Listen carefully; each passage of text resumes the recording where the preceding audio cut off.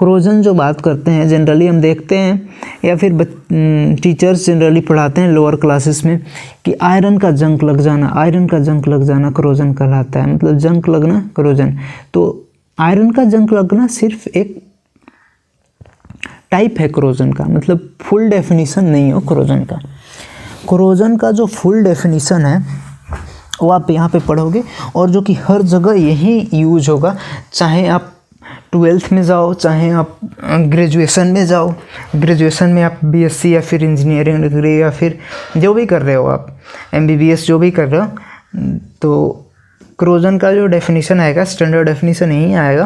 Corrosion is a natural process that converts a refined metal into a more chemically stable form such as oxide hydroxide sulphide मतलब कि जो metal है तो corrosion जब उसमें होता है तो क्या होता है कि अपना मोर स्टेबल फॉर्म में केमिकली मोर स्टेबल फॉर्म जो उसका होता है जो जैसा कि हम एक्सट्रैक्ट करते हैं धरती के अंदर से या फिर कहीं क्रस्ट से कहीं माउंट सेडिमेंट रॉक से को, कोई भी मेटल हम एक्सट्रैक्ट करते हैं तो वो जो होता है उसके ऑक्साइड सल्फाइड या फिर हाइड्रोक्साइड जो उसका केमिकली स्टेबल फॉर्म होता है, उसी फॉर्म में मिलता है। फिर उसको रिफाइन करके हम उसको मेटल बनाते हैं।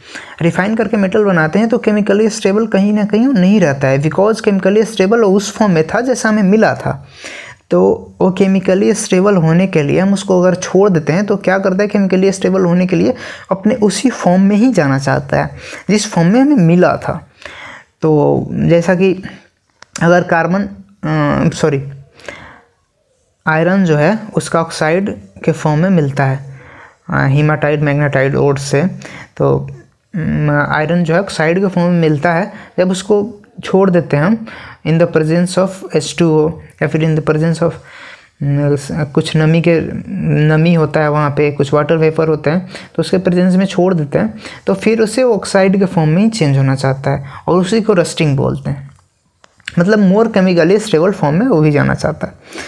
तो यही यहाँ पे बता रखा है कि एक नेचुरल फेनोमेनन है जो कि जिसमें कि मेटल्स जो हैं केमिकली स्टेबल फॉर्म में जाना चाहते हैं। और वो केमिकली स्टेबल फॉर्म ऑक्साइड भी हो सकता है, उनका हाइड्रोक्साइड भी हो सकता है सल्फाइड भी हो सकता है dependent on the that metal अब it is gradual destruction of material जो क्रोजन है, वो ग्रेजुअल डिस्ट्रक्शन ऑफ़ मटेरियल धीरे धीरे होता है। यूजुअली ये मेटल बाई केमिकल और electrochemical reaction with their environment corrosion engineering is field dedicated to controlling preventing corrosion corrosion engineering में हम जनरली क्रोजन को प्रिवेंट कैसे करें तो डिफरेंट इसके फॉर्म होते हैं। कोट कर दो उस मटेरियल को, या फिर उसमें कोई और मेटल का एक पतला सा थीन लेयर चढ़ा दो। या फिर उसको ऐसे कंडीशंस में रखो कि वो क्रोजन फ्री रहें। तो इसको पूरी फ़ील्ड को क्रोजन इंजीनियरिंग बोलते हैं। इसमें क्रोजन से प्रिवेंट किया जाता है अलग अलग मटेरियल को। अब देखिए यहाँ पे corrosion causes damage to car bodies generally आप देखते हो जंक लग जाता है। ब्रिजेज आयरन रेलिंग्स सीप्स जो सीप्स जो है, पानी में जो चलती है and to all object made of of metal जो कि मेटल से बना हुआ है specially those of iron iron में तो रस्टिंग लगता ही लगता है जनरली इसीलिए आयरन का एग्जांपल लेते हैं। लेकिन किसी भी चीज़ का क्रोजन हो सकता है, किसी भी मेटल का क्रोजन हो सकता है। बस उसके फेवरेबल कंडीशन होने चाहिए कि वो अपना मोर स्टेबल फॉर्म में जा सके। और जनरली चीज़ें जो हमारे पास होती हैं आयरन की बनी होती है, और आयरन में बहुत जल्दी क्रोजन जो है रस्टिंग हो जाता है। तो जनरली लोग आयरन का एग्ज़ाम्पल देते हैं। और दिमाग में भी हमारे होता है कि आयरन में ही होता है।